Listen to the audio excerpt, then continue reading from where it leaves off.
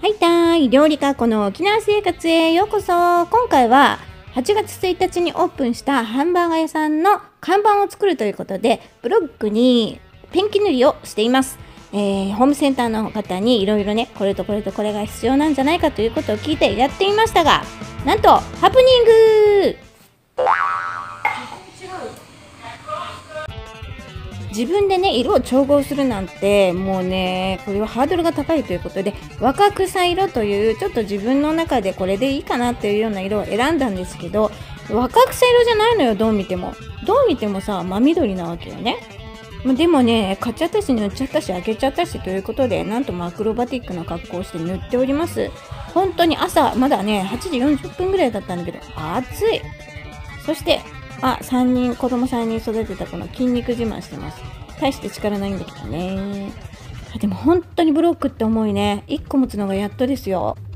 本当にね、田舎でお店が1軒しかないんだけれども、なかなかね、人通りが少ないとか、車通りが少ないので、なんか看板があった方がいいよっていう、ちょっとアドバイスもらったので、一生懸命作ってるんですけど、まあ相変わらずなんですが、うちのハルクさん、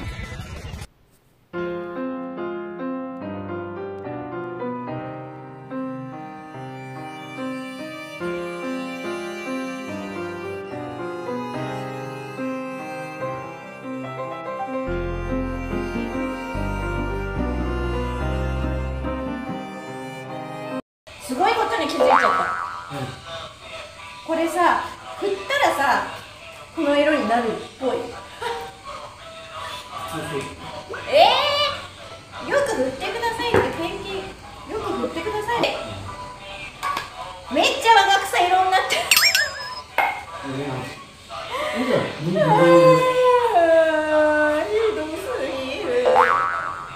もうさ目に汗は目目の中に汗は入るしさ。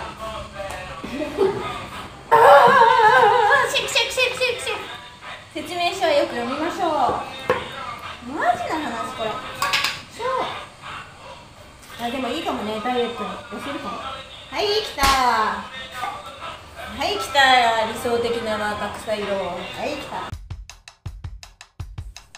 ペンキってさ使う前に振るって知ってた？知らなかったよね。私だけ知らなかったの。もうもう一人で買いに行ったしもう一人でなんかチャカチャカと始めちゃって誰も教えてくれなかったからもう失敗は成功のもとということで次やるときは失敗しないと思います。まあまあ二度塗りですね。濃い緑にあの若草色を塗り直しております。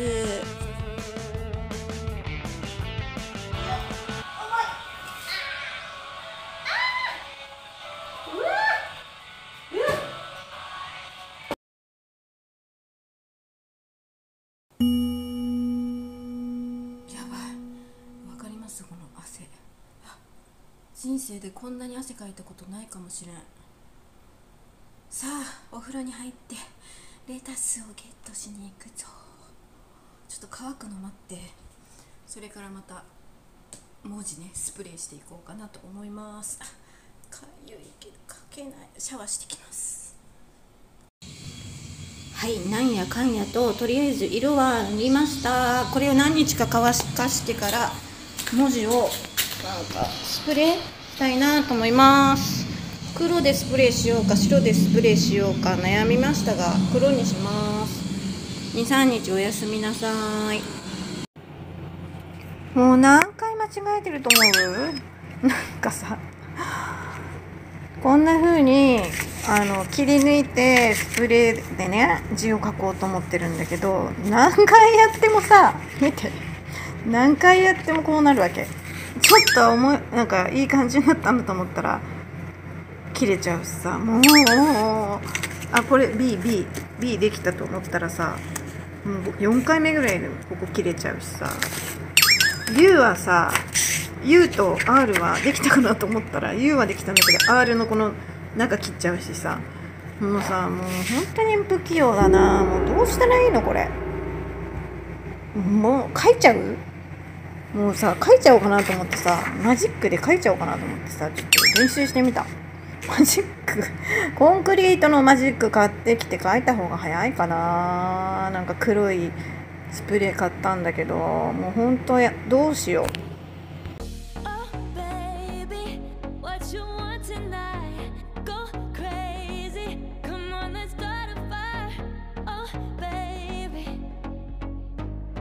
You know, you know, you know, you know.